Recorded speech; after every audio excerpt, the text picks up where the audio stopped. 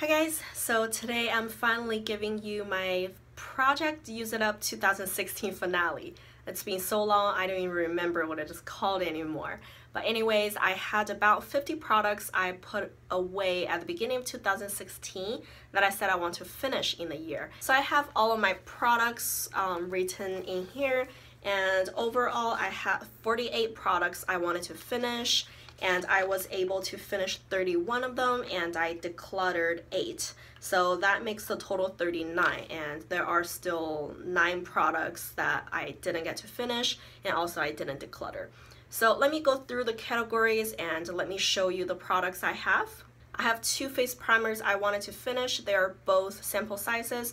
One is from Pixi, it's the Flawless Beauty Primer. The other one is from Jane Iredale, it's the Smooth Affair face primer and I finished both of them. I think overall I really like the Jane Iredale one. It's very moisturizing and kind of like a gel texture. It's very similar to the Ulta Hydro Prime that I'm using right now. Um, the Pixi one, I'm kind of okay. So I finished those two. There are three eyeshadow primers I wanted to finish. One is the sample size Cargo HD Picture Perfect Eyeshadow Primer. I finished that pretty early on in the year. I put it in a project.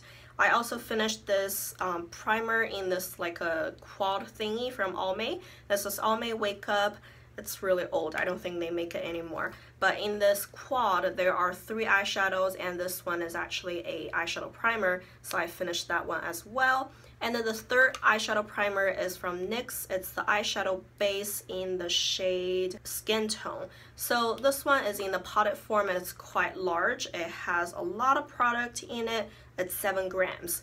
And apparently I didn't get to finish it, but I do have like a sizable dip. I'm not sure if you can tell.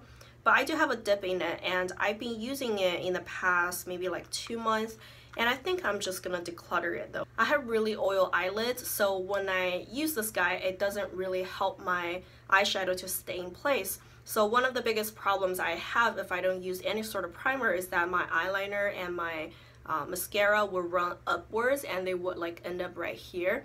And when I use this eye primer that does not prevent the problem. I will still have my eyeliner like showing up on my lid. So I think it's just not enough for me. I'm not gonna continue to use it. I had four cream eyeshadow base in this project. I decluttered one of them. That one is the Jordana 12 hour made to last eyeshadow pencil in Continuous Almond. That one is really dry, really chalky and patchy. It just does not look good on my eyes. So I decided to declutter it after struggling using it for quite a while. And I have this potted eyeshadow base from Tarte. It is in the shade Shimmering Taupe. I did finish this one quite early in the year, even though it looks like it's in a smaller pot, but content-wise it has about the same as a Maybelline Color Tattoo, so that's quite a bit of eyeshadow in this actually. And I have two little eyeshadow pencils from Urban Decay. This is a 24-7 Glide On eyeshadow pencil. I don't think they make this anymore. They only make the eyeliners, not the eyeshadow pencils anymore. But I had like a five pack and I picked those two to use in this year. Uh, the one that I finished is in the color Sin. This one is just a lighter kind of shade. And the other one I'm still trying to use up, but you can see I still have a little bit of it. This one is in the color Juju. I think I'm just going to continue to use it in 2017. I have quite a few powder eyeshadows that I wanted to finish. So the first one I finished was from MAC. It's the Pro Longwear eyeshadow in the color Pink Frontier. This is in the bigger pan and it's a lighter shimmery pink shade. I pretty much used it as blush so I was able to finish that one. I think this is like a really decent sized pan so I'm quite proud of that. I have three depotted eyeshadow pans. Those are actually um, carry over from 2015 Pan That Palette Challenge. I only had like three shades left over that I still wanted to work on, so I just put them in the 2016 Use It Up project. Uh, the first one is a bigger pan. This is Revlon Matte in the shade Peach Sorbet. It's just a creamy matte shade. And then there are two smaller pans. Those are both gift with purchases and they're just from like smaller palettes that don't really have shade names. I was able to use up those two. And I also wanted to work on this quad from Almay. So as I already showed you earlier, I finished the primer and I finished one shade out of this like eyeshadow trail. And I wanted to use up those two, but I kind of realized they don't give the best pigmentation and they're kind of chalky and they're just not very flattering on my eyes. So I decided to declutter those two shades and I only used up one shade. And then there's also a Almay eyeshadow in the shade uh, Cream Brulee. That one is the Shadow Softies. So that one I actually used a little bit of it. I think I probably used a third of the shadow and I just decided to quit. Uh, it was way too glittery and it's not flattering on my eyes or even on my cheeks. I try to use it as a highlighter. Um, it's just for lost cause. So I decluttered that one. There were three eyeliners I wanted to work on this year. I was able to finish two of them. One is this Jordana Easy Liner for Eyes in the shade Brown Suede. I used this one up pretty early in the year. I'm okay with the formula, it's not bad. I have used quite a few shades from this line.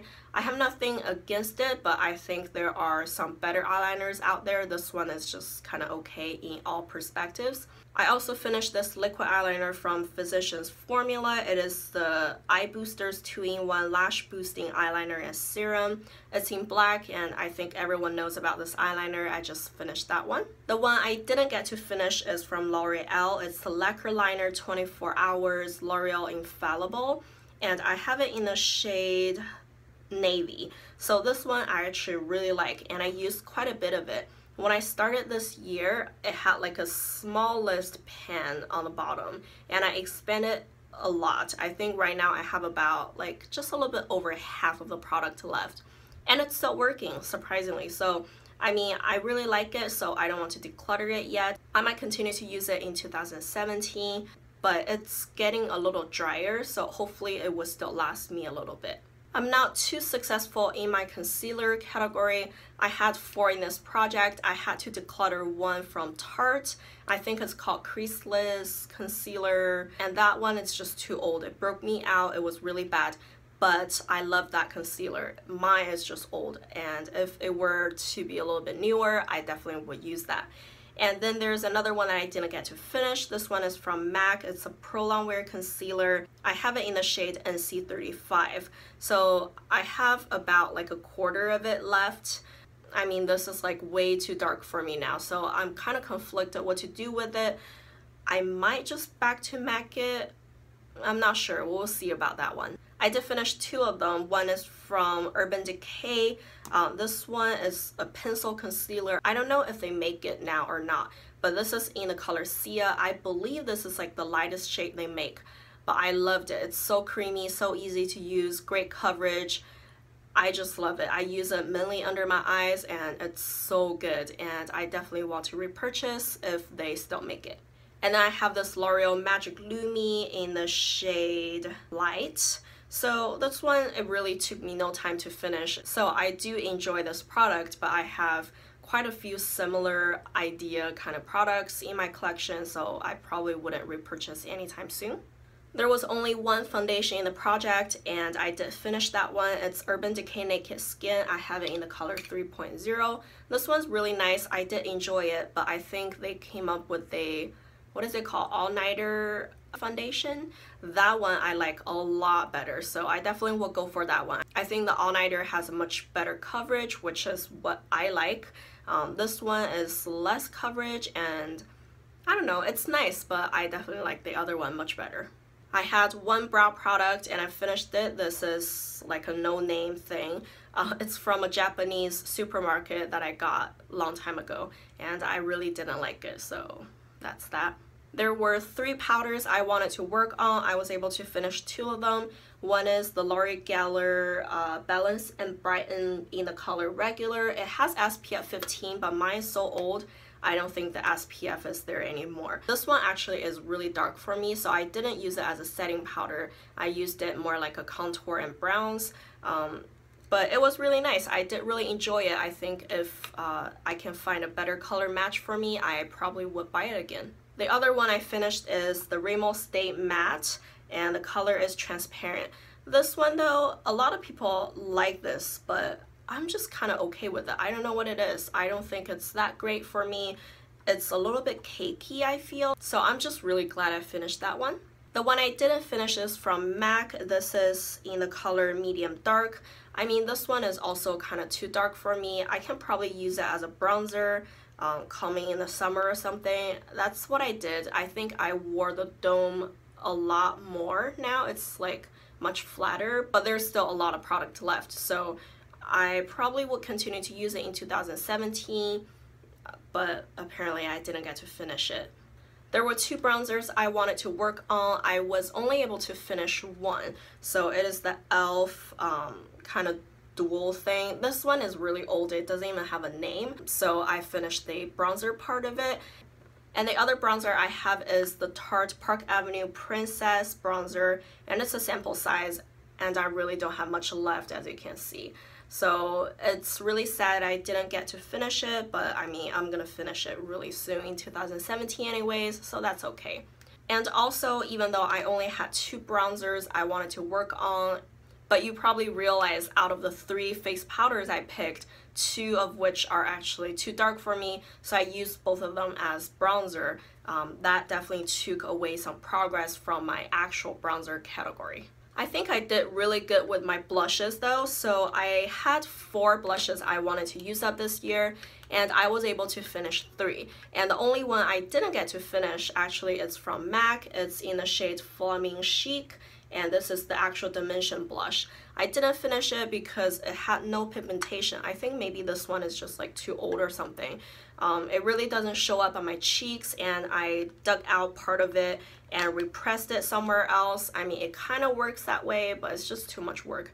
I think I'm just gonna go back to MAC this one and call it quits. I finished a sample size cargo blush. This one is in the shade Bali. I did really enjoy it. It's kind of like a baby pink shade. It has a lot of shimmer, so it's like really good for spring and summer. And I had two cream eyeshadows. I finished both of them. This one is Josie Maran Coconut Water in the shade Pink Escape. I didn't have much uh, to begin with in 2016, so I finished that pretty quickly. I did really enjoy this product, but it lasted so long, I got so tired of it. the other one is Maybelline Master Glaze uh, in the shade Just Pinched Pink. And this one, I used it up. It's flush with the plastic right now, but it has so much product left like inside of the tube. I tried to push a pin inside. It's ridiculous, but I'm so tired of cream blushes in general. Even though I did really enjoy this color and this product, I just don't want to dig it out anymore. I think I probably would just stay away from all cream blushes from this point out. Alright, I only have one highlighter and this one I actually used it sometimes as a highlighter, sometimes as a face powder. It's a Wet n Wild color icon in the color Reserve Your Cabana. So we all know this one, it's like a giant product but it's like a lighter shade with a little bit of a shimmer. So, you know, sometimes I use it all over my face, sometimes as a highlight, but I did finish that one. So everything else is just lips now. So I did declutter, I think, three lip products. Uh, one is a Revlon lip butter. It's in the color Sorbet. I used about half of that product and I just realized I don't like the color that much, so I decluttered it. And I also decluttered a Revlon Just Bitten Kissable Balm Stain in the shade Honey. I don't like the color and I don't even like the product or the line anymore. I had two other shades from the line and I decluttered the other two as well. And also I decluttered a lip gloss from Revlon. It's a Super Lustrous in the color Coral Reef. That one I think I used about half as well. Now let me show you the ones I did finish. So in the same line of lip gloss, I finished two other shades. Uh, this one is Pink Whisper, that one is Pink Pop. So it took me a long while to finish those. I mean, lip glosses are really hard for me. I'm really glad I finished those two, but they are really old. You know that the packaging of this line is uh, circle or round tube, and I still have the square tubes, so they're really old, and I'm really glad they didn't turn on me, and I was able to finish those. And that's also part of the reason why I decluttered my Coral Reef shade it's just too old and I've already used half of it. There's no point in me keeping it around any longer. And for lip butters, even though I decluttered one, I still have like three here. I mean, I did finish two of them. I finished Berry Smoothie and Cherry Tart. So both of them didn't have much to begin with. So this is Berry Smoothie and this one is Cherry Tart. So they're rolled up all the way and those are really lovely colors and I did discover I like a not very intense red lips a lot so that's something interesting and I did enjoy those too and I have one more that I didn't get to finish and I do want to keep it around for a little longer. This is in the shade Wild Watermelon. So I do still have quite a bit of this. I think this one is pretty much still new. So this is rolled down all the way so I've only used it just a little bit. Like I said I have discovered I do like a sheer red lip uh, a lot so I think I might get some good use out of it in 2017. There's a Maybelline Baby Lips that I finished. It's in the color Melon Mania. And this one, it's rolled up all the way. Now it's flush with the plastic. It's a really sheer color. I pretty much just used it as a lip balm and I liked it that way. Another one that I kind of use as lip balm, this is Colour Riche Balm from L'Oreal. The color is Legally Regal and it's a purple-ish kind of color.